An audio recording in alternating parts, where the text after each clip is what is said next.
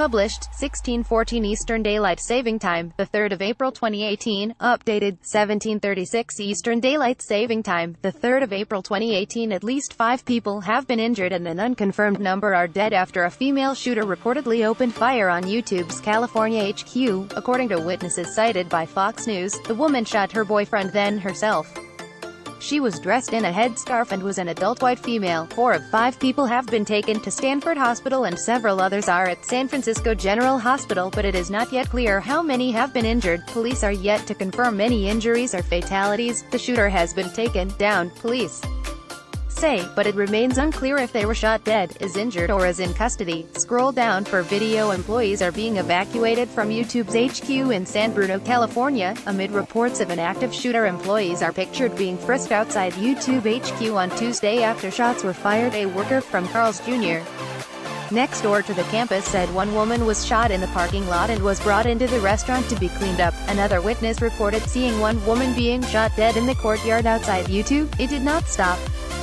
There was no mercy, the witness told Fox News. Witnesses say there were multiple injuries but no fatalities have been reported. Disturbing live accounts were given by YouTube employees who took to Twitter as the shooting unfolded in a flurry of tweets. Project manager Todd Sherman said, We were sitting in a meeting and then we heard people running because it was rumbling the floor. First thought was earthquake. After exiting the room, we still didn't know what was going on but more people were running seemed serious and not like a drill. We were in a meeting and then we heard people running because it was rumbling the floor. I looked down and saw blood drips on the floor and stairs YouTube project manager Todd Sherman. We headed towards the exit and then some more people and someone said that there was a person with a gun. S asterisk asterisk T. At that point every new person I saw was a potential shooter. Someone else said that the person shot out the back doors and then shot themselves. I looked down and saw blood drips on the floor and stairs, peeked around for threats and then we headed downstairs and out the front, he said. Authorities are now going room to room to find the shooter who appears to still be at large. Photographs show police frisking employees on their way out for weapons. In an initial statement, Google, which owns YouTube, said it was cooperating with authorities. We are coordinating with authorities and will provide official information here from Google and YouTube as it becomes available, they said. A worker from Carl's Jr. Next door to the campus said one woman was shot in the parking lot and was brought into the restaurant to be cleaned up. Another witness reported seeing one woman being shot dead in the courtyard outside YouTube. It did not stop.